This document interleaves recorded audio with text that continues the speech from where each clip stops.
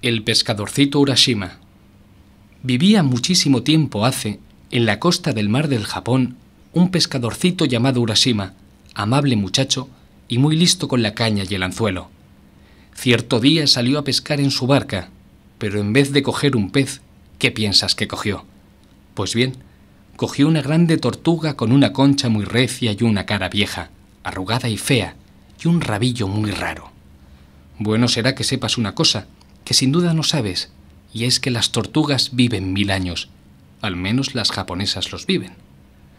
Urashima, que no lo ignoraba, dijo para sí, Un pez me sabrá tan bien para la comida y quizá mejor que la tortuga. ¿Para qué he de matar a este pobrecito animal y privarle de que viva aún 999 años? No, no quiero ser tan cruel. Seguro estoy de que mi madre aprobará lo que hago. Y en efecto, echó la tortuga de nuevo en la mar. Poco después aconteció que Urashima se quedó dormido en su barca. Era tiempo muy caluroso de verano, cuando casi nadie se resiste al mediodía a echar una siesta. Apenas se durmió, salió del seno de las olas una hermosa dama que entró en la barca y dijo, Yo soy la hija del dios del mar, y vivo con mi padre en el palacio del dragón, allende los mares. No fue tortuga la que pescaste poco ha y tan generosamente pusiste de nuevo en el agua en vez de matarla era yo misma, enviada por mi padre, el dios del mar, para ver si tú eras bueno o malo. Ahora como ya sabemos que eres bueno, un excelente muchacho que repugna toda crueldad, he venido para llevarte conmigo. Si quieres, nos casaremos y viviremos felizmente juntos, más de mil años, en el palacio del dragón, allende los mares azules. Tomó entonces Urashima un remo y la princesa Marina otro, y remaron, remaron, hasta arribar por último al palacio del dragón, donde el dios de la mar vivía o imperaba como rey sobre todos los dragones, tortugas y peces. ¡Oh, qué sitio tan ameno era aquel! Los muros del palacio eran de coral, los árboles tenían esmeraldas por hojas y rubíes por fruta, las escamas de los peces eran plata y las colas de los dragones oro. Piensa en todo lo más bonito, primoroso y luciente que viste en tu vida, ponlo junto y tal vez concebirás entonces lo que el palacio parecía. Y todo ello pertenecía a Urashima. Y cómo no, si era el yerno del dios de la mar y el marido de la adorable princesa. Allí vivieron dichosos más de tres años, paseando todos los días por entre aquellos árboles, con hojas de esmeraldas y frutas de rubíes. Pero una mañana dijo Urashima a su mujer, Muy contento y satisfecho estoy aquí, Necesito, no obstante, volver a mi casa y ver a mi padre, a mi madre, a mis hermanos y a mis hermanas. Déjame ir por poco tiempo y pronto volveré. No gusto de que te vayas, contestó ella. Mucho temo que te suceda algo terrible. Pero vete, pues así lo deseas y no se puede evitar. Toma con todo esta caja y cuida mucho de no abrirla. Si la abres, no lograrás nunca volver a verme.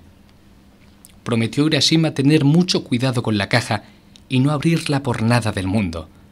Luego entró en su barca, navegó mucho y al fin desembarcó en la costa de su país natal. Pero, ¿qué había ocurrido durante su ausencia? ¿Dónde estaba la choza de su padre?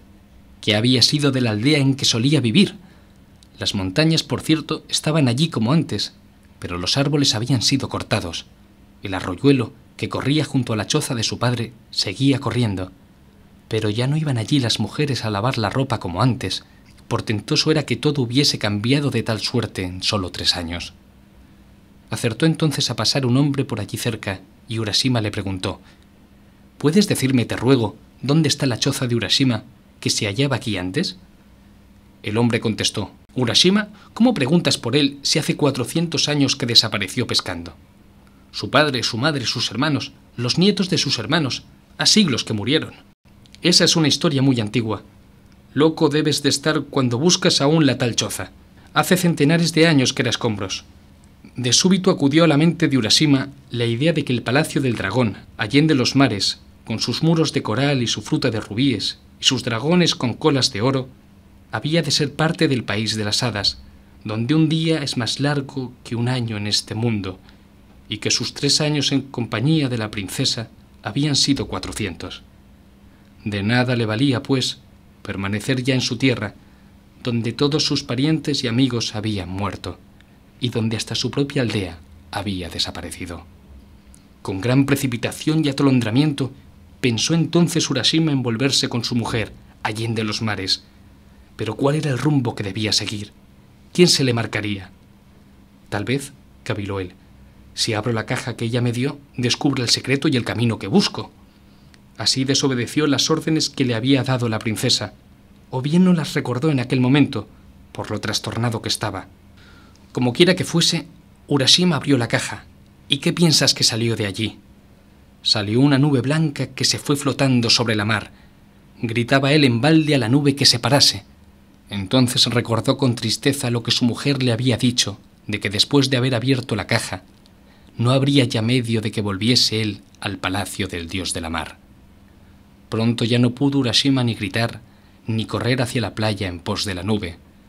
De repente, sus cabellos se pusieron blancos como la nieve, su rostro se cubrió de arrugas, y sus espaldas se encorvaron como las de un hombre decrépito. Después le faltó el aliento, y al fin cayó muerto en la playa. Pobre Urashima. Murió por atolondrado y desobediente, si hubiera hecho lo que le mandó la princesa, hubiese vivido aún más de mil años. Dime, ¿no te agradaría ir a ver el palacio del dragón, allende los mares, donde el dios vive y reina como soberano sobre dragones, tortugas y peces, donde los árboles tienen esmeraldas por hojas y rubíes por fruta, y donde las escamas son plata y las colas oro?